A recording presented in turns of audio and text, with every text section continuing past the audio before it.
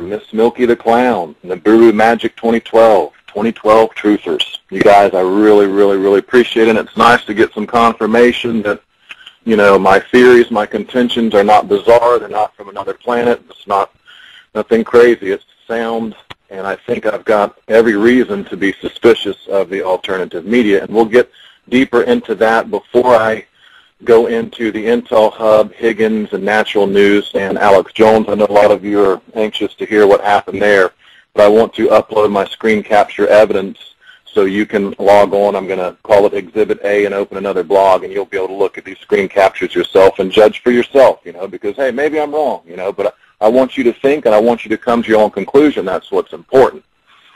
Now, tonight, as I've been promising, I want to talk about the four herds very briefly. It's not going to take long, and it's kind of a social classification I've come up with because what I noticed was, and even myself, I fell victim to, you know, their strategies and their plans within the alternative media because like most people, I became suspicious of the mainstream media, found out it was pretty much nonstop lies on the news every night or just total, you know, omission of the pertinent facts. So then like anyone else, I'm looking amongst the alternative media and then amongst the alternative media when I Uh, really got involved in it and found out what was going on. While I look back on the on what I call the second herd, and nothing derogatory meant by it at all, just a classification, call them sheep or whatever.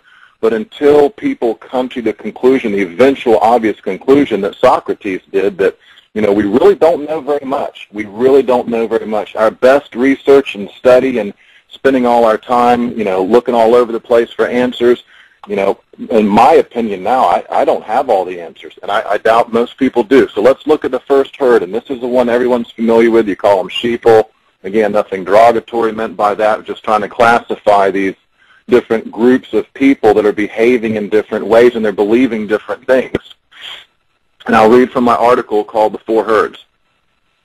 The first herd. The first herd lives and dies by the word of the mainstream media. What Diane Sawyer and Dan Rather say is law, reality, the truth. End of story.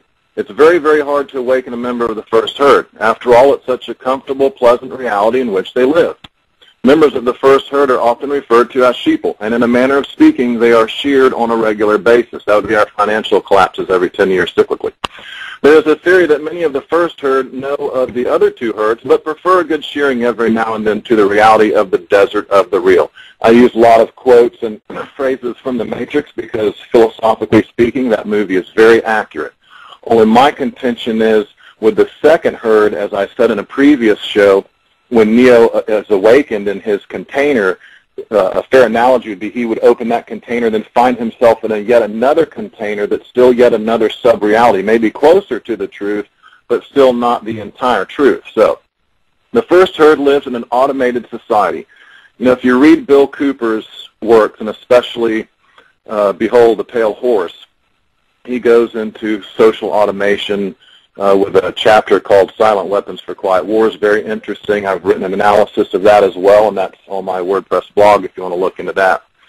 And it's important you understand that society is automated. Look around you. Today what happened in Gainesville, Florida, the uh, South Carolina Gamecocks came to play the Gators. People got drunk as usual, painted their bellies up, and danced around. My mom called me earlier, say, are you all right, son? There's helicopters and ambulances all over town. I said, Mom, it's game night. You know, sometimes uh, a police officer was run over and killed in the street. So it's a social automation. They they know exactly how to get these people to behave in a certain way. If you have alcohol legal and it's readily accessible, and you have these sports events, you can pretty much put two and two together and, and, and see how people are going to act. So it's, it's critical understanding social automation. And a lot of what I'm telling you tonight with the four herd concept goes hand in hand with the protocols of Zion, protocol number 12, control of the press because they have to approach different uh, groups of people differently. Like I say, those in the alternative media searching branches, they're already very suspicious, or you should be very suspicious, and you should be very critical. But again, I say they've been fooled very in a very sublime manner into thinking they're getting the truth, the whole truth, and nothing but the truth, and getting it right now. Okay, that's very critical. You understand that. They enjoy an automated society. They don't yet realize how fun thinking for yourself can actually be. Wake members of the first herd gently, slowly or they will bite and kick you with their hooves. And again, that's the, the sheeple we refer to, and they, they watch a lot of mainstream and live and die by that, and they really actually believe a lot of what we think may be psychological operations or some kind of special operation like Koran burnings and the Muhammad films, they may think that's actually organic and real, and those events are actual real events that are perpetrated in a in organic fashion, and nothing is a hoax and nothing is a pre-planned event like a false flag type thing. Now, let's look at the second herd because that's the herd that I, I really believe that a lot of alternative people are being fooled right now, and they're being socially automated themselves with these DHS bullet acquisition and police brutality memes. And I'm not saying you know there's not some kind of takeover maybe going on. There's plenty of evidence for that. But I think what they're trying to do is instill fear and shake people up and, excuse me, try to create this powder keg type environment wherein who knows, maybe some type of uh, incident with the police and people on the street will cause some kind of uprisings like the Rodney King incident. I watched a YouTube video the other day that a gentleman made that contention, and it, it made a whole lot of sense. You know, if you leave people desperate and and there's a lot of police, well, maybe not a lot. I mean, if they promote it, it seems like a lot of police brutality, and maybe it's higher than ever with returning veterans coming back from Iraq. I don't know. I'm not uh, too up to date on that, but I tend to think they're kind of promoting it heavily, and that's my example. Within the within the second herd, there's particular memes being pushed forward, and and things are being avoided and not talked about. You'll get your Fast and Furious and and get your dose of that, but when it comes to Plumegate and this giant uh, a conspiracy to hide the plume and fallout, and then you look at the death toll and everything. We'll look at that quickly. I need to hurry up here. Um, so let's get right back to this, getting distracted. Okay, the third herd, that's the Socratic herd. And that's what I say that uh, if you're if you're aware that there's a lot you don't know and there's a lot you're not going to know, because if you think about the Illuminati and the power elite and the global elite, they they are masters of the occult. They've been collecting this information and, uh, and compiling it for hundreds of years. What do we get? Well, we get a lot of disinformation, a lot of stuff they don't even talk about. So it's very difficult to come to conclusions when the information is being controlled to such a degree. Let me get back. I missed the second herd. Second herd. Second herd thinks they have awakened. Most are well-intentioned people searching for the truth, but they are corralled by the likes of Alex Jones, Mike Adams, and other quote-unquote alternative and quote-unquote independent media figureheads who sell only government-approved propaganda and never offer any solutions. You know, talking about solutions, the one thing I've noticed a complete absence in the alternative media is a solution for the chemtrail problem. Okay, we're getting sprayed. I'm getting sprayed here every day in Florida, almost every day, and it's getting kind of ridiculous. And in all this time, I've never seen a bona fide solution put forth to try and get the chemtrail stopped, right? So we know that Alcoa is the number one aluminum manufacturer in the world. And we know the the, the most common substance found in chemtrails is purported to be aluminum oxide, which is a leftover in the process of making aluminum. Now, Alcoa meets with Bilderberg every year, so it's just two and two putting that together to fil- figure out the conspiracy there. So the obvious solution would be to, to employ Gandhi's power of the purse, and we have a boycott, a boycott on aluminum drinks, a boycott on aluminum. If you buy an old used aluminum bike at a store, that'd be one thing, but no one has initiated a boycott on aluminum, and that's the only way you're going to get that to change because it's now a corporate world. There's really not countries anymore. There's not nations anymore. It's these giant corporations, and all they understand is cash flow. Cash flow, that's all they understand. So there's no solutions being put forth in the alternative media. By and large, sometimes there are, and like I say, not everyone's a troll, not everyone's a shill, and not every outlet is a controlled outlet. But for Plumegate to have not arisen this summer in the fashion that I'm describing it to, as it should have, I, I think we can you know, conclude that there's something amiss in the alternative media and, and grave issues like this particular one that, that could have affected the outcome of the election are simply you know, swept under the rug. And if they're touched upon, it's only because, like I say, I wrote multiple articles fingering certain people and saying, hey, what's going on here? They're not even writing about this. It's been out for months and months. Okay, back to the read.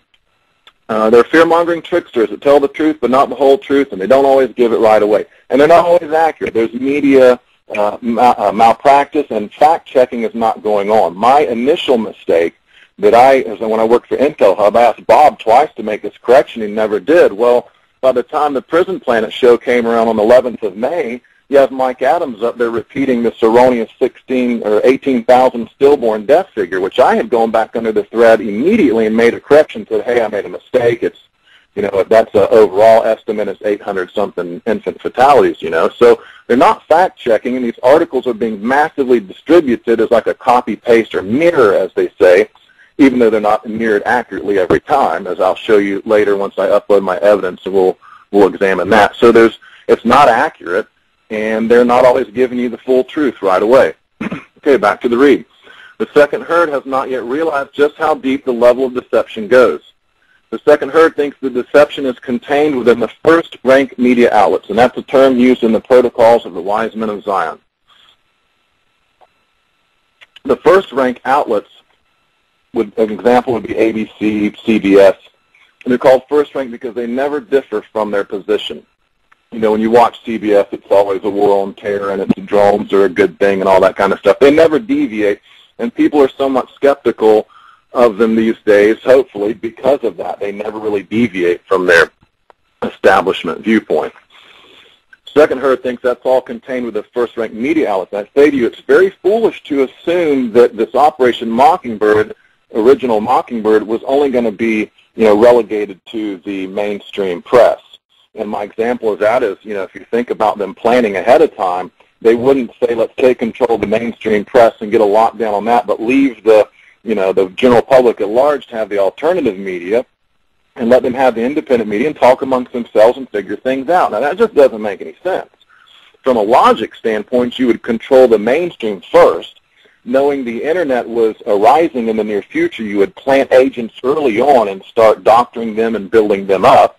And then you intercept the flow of information in the alternative media that develops and grows. And that's just a strategy that's a common sense, logical strategy to go a bit deeper down the rabbit hole, you would then plant a few agents amongst the independent media as well. And like I say, my my depth sound has always been Plumegate, the NRC FOIA documents, and the multiple agency conspiracy contained within to hide the radioactive plume and fallout. Now the death tolls at 40,000 plus, and we can go over numbers with that if I get to that. But in the independent media as well, they want to place some figureheads in there. It's like a really, you're covering all of the board. You want to cover the entire map. I mean, this is strategy, and these people people have money. We're talking. I've heard from 350 to 500 trillion, excuse me, for the Rothschilds alone, and then you have the Standard Oil and Rockefeller, and I mean, and plus, plus, folks, as we all well know, they can print all the money they want. So as long as people will perform these deeds for them, these evil people, and I've come to the conclusion there really are just evil people that will do anything for cash that's part of how they're able to carry these plans out, you know, until people will grow up and realize that some things aren't worth money. It's better to live in a cardboard box and continue this business. Okay, back to the second herd. They think it's contained within the first-ranked outlets, but obviously they have the strategy and money to move it beyond that. They also believe the alternative and independent media are pure, pristine, and innocent like a babe. Far from it. Perhaps they have not sat for long periods of time and contemplated just what $500 trillion can do in this world. Deception is mathematical. Will the second herd ever figure this out? Not as long as they underestimate their opposition's ability to control the flow of information. That is very important. I think most people in the alternative media searching for answers are very much so underestimating the opposition's ability to control the flow of information. Let me give you a nice little example in the run-up intro to the Alex Jones Info Wars, when I used to listen to it, there's the Hillary Clinton little soundbite. We're in an information war, and we aren't losing that war. Okay, and the fact of the matter is, I've thought about this very carefully. Well, if they're in cahoots, to coin a Southern term, if they're in cahoots, Hillary makes that statement on purpose. All right, they know they're whipping our butt in the information area. I tell you, they really are, and they know this. But it is a military strategy. It's the ancient art of war by Sun Tzu to fool your opponent into thinking he is in fact winning. He is in fact ahead. So your opponent relaxes. He says, hey, we've, we got him Alex Jones. We're pounding him. We got the new world order on the run, it says. We got him on the run. Well, I'm thinking to myself, we don't have him on the run. As a matter of fact, they got us right where they want us because the largest, most damning issue of this election cycle, it never came to be paraded and highlighted like it should have. That's my you know, I rest my case on that alone on a larger scope. That evidence you know, is the lack of evidence, if you will. If you look amongst the Facebook people who are the alternative media group on there, there's not a lot about the NRC FOIA documents. I haven't seen it, and if there is, it doesn't tie it into the larger picture with Obama, give you the fatality numbers, give you the history of Three Mile and and give you that big lock, big picture to paint that so people can people who are the alternative media group on there. There's not a lot about the NRC FOIA documents. I haven't seen it, and if there is, it doesn't tie it into the larger picture with Obama, give you the fatality numbers, give you the history of Three Mile and Chernobyl, and give you that big lock, big picture to paint that so people can make a decision being given the entire arena of facts that they need to make an informed decision. That's critical in my articles, and that's what I do. And I say that is difference between mine and the other few articles. And I don't knock any news, Enformable. You really want to uh, go to those sites. There's a lot of good information there. And Alexander Higgins also as well. He has the uh, real-time EPA monitors, which might not get to talk about tonight, but they're spiking over 100 count in Bakersfield, California. And according to Berkeley, 100 count is high, and anything over that you should be worried about. So Fukushima is an ongoing problem, not going anywhere. Thanks to alternative media, we did not get the word out in time to make a difference in the election. And not just, I'm not picking on Obama, like I say. Romney is also either ignorant or bought and paid for because he thinks nuclear power is clean. At the debate the other night, he says that. So, and he won't mention the FOIA documents to, to, to use that as a tool, a pry bar against Obama in order to unseat him so he can't get another you know, four years. We don't want it. We don't want Romney either. Personally, I'm thinking of voting Green Party for Jill Stein, who's against nuclear power and has a lot of other good parts of their platform as well. Okay, back to the thing. So the second herd is basically they're underestimating their opposition. So I suggest people give it some more thought, some more contemplation, and just pretend in your mind, play games, pretend you're George Soros, pretend you're Illuminati, and you have all these trillions of dollars. What would you do? What would you do? You open a few radio stations, you open some TV stations, you hire some shills, you hire some trolls. You know, that's what you do with it, and you influence public opinion. And that's what Hillary Clinton said. She wanted 40,000 fake user accounts so she could sway public opinion. But they're not losing the information war, but hey, why not pour it on right near the end? You know, people ask me, how can Alex Jones and some of these sites give some good information? Because I don't deny that. They actually do give some really good information, but it's not the best information. They, that's distractionary really in the end because nothing comes of it. What's come of all the 9-11 talk? That's a big subject. You can talk about the USS Liberty. That's a big subject. I saw someone post something about the Poppy Bush White House era and the prostitution, the gay, you know, whatever in the White House. But nothing's going to come of that. The difference is on Plumegate, we've got all the evidence that someone in the DOJ or some prosecutor needs to be issuing indictments, and then that'll all lead back to the White House, and we can find out who was involved. Because in the documents, they don't really mention names. It just says White House meeting. So we know the White House heavily White House lead, that kind of thing. We know they're involved, but to what extent? And if we don't get people on the stand in a relative time before memories fail and they're like Gonzales, I can't recall, you know, time is of the essence. Now let's talk about the third herd because that's those of us now who are waking up, really kind of waking up as best we can and understanding that something is terribly wrong in the alternative and some of the independent media. We'll see how this plays out and who carries Plumegate to the degree that they should, and you know what I mean by that, by giving the big picture, the death toll, the, you know, the children's doses to California, exposing that kind of information is critical. The third herd is awakened that they know they are being fooled and that they are aware of the many different levels of perceived realities. I explained to you, we're like Neo waking up out of his chamber into another chamber. And then we still got to get on that one because Alex Jones is in that second chamber and he's not going to tell you about Plumegate. So you still haven't woken up yet. Now, the third herd is awake. Herd is awake. They know they're being fooled. Example, my cat has no idea about the impending Iran war or World War III or even the concept of war. Does that make Iran or war any less real? In the same manner, the third herd knows there is much they don't know, just like the Greek philosopher Socrates did. The third herd knows how difficult it is to find the truth about the events unfolding before us. They know the true rulers of this planet, we shall call them the Illuminati, have bent their resources and willpower to find all human weaknesses and exploit them. They understand that the human brain is a flesh computer. It has desires. It has fears. It is programmable. It can be automated. The third herd know this and know the Illuminati know this and are using it against the human race. And that's important you understand that because I often when I talk with people, I tell them it's as if someone sat down and studied every human weakness and to try to figure out how to exploit every human weakness that there is to the fullest potential. And they're very effective in that. I think they're being very effective at that right now.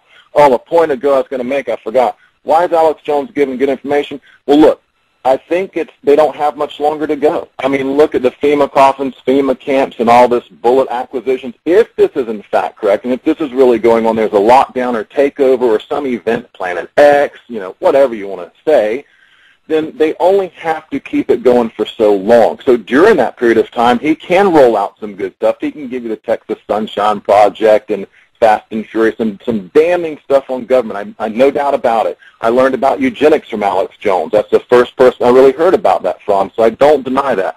But in the long run, as time plays out, we will see just how much longer we have before there's some kind of new world order, one world takeover, and a military crackdown as people are theorizing. So that does play into that timeline. They're going to give you some, not something so bad that people really raise a fuss and, and something comes of it, you see, because right now they're automated. And in these, in these little classifications of mine, they're each going about doing what they've kind of been programmed to do. And so it's, it's critical you understand that. I forgot to mention that a minute ago. Okay, so I hope you understand this concept of the first, second, third herd. And the fourth herd, I say, is Illuminati. And, of course, they, you know, they know as much information as they're you know, they can possibly know. I would suspect not everything. They're not gods or demigods. They may be humans. Maybe they're not even on this planet. I don't know. But it certainly seems to me, just from my studies, that there is some group or organization that is very carefully controlling the entire planet.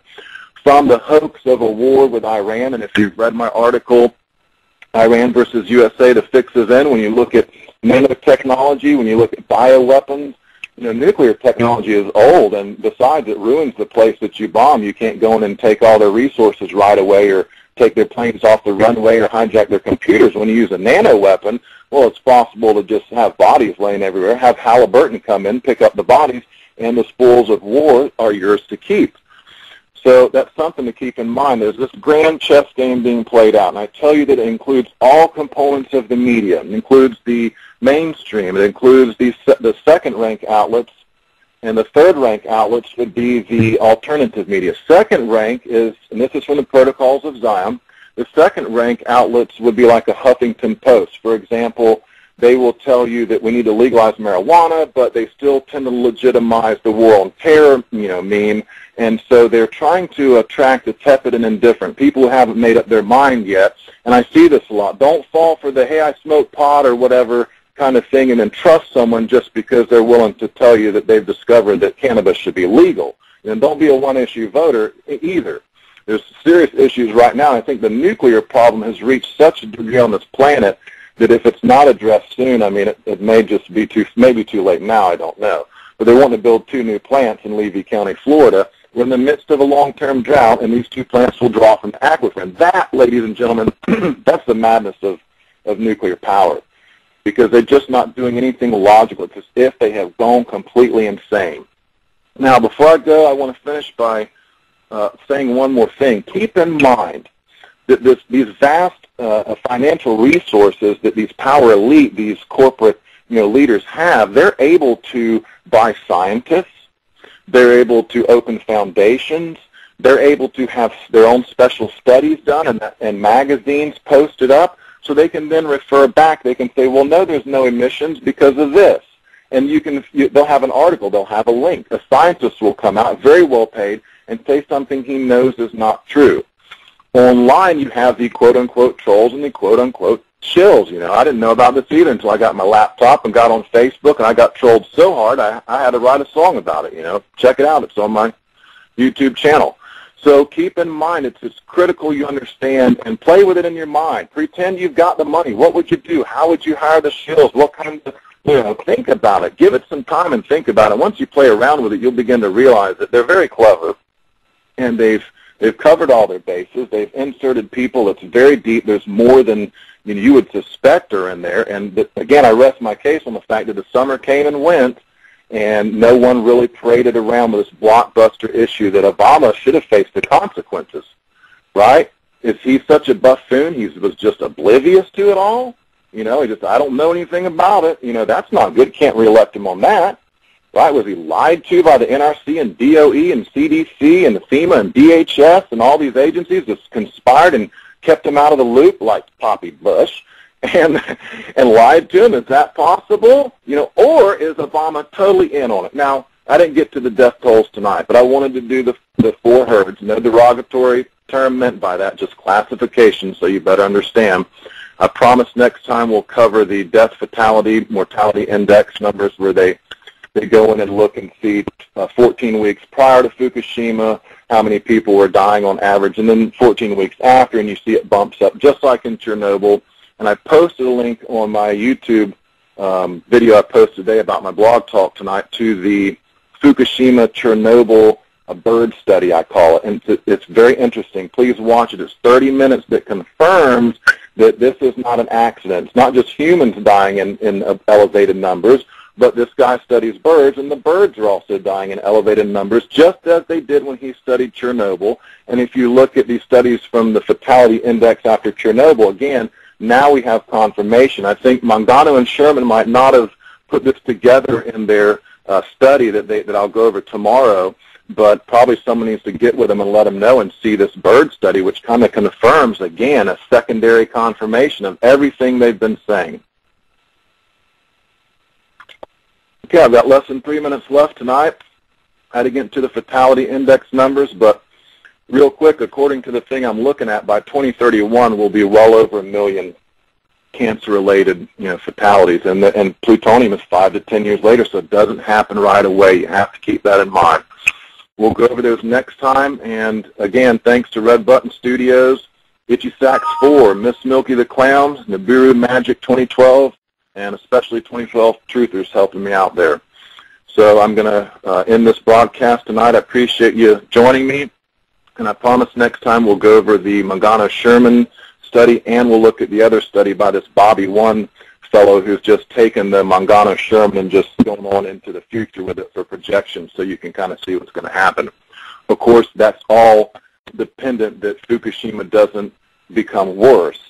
And if you look at Alexander Higgins, go in there and, and Google his live EPA RadNet monitors, and you can see this last week and even 18th and 19th, there were spikes over 100 counts per minute and beta radiation, a thousand counts per minute. And according to the Berkeley, like I say, over hundred is something to be worried about. So if this is correct, we're we're constantly being inundated with radiation.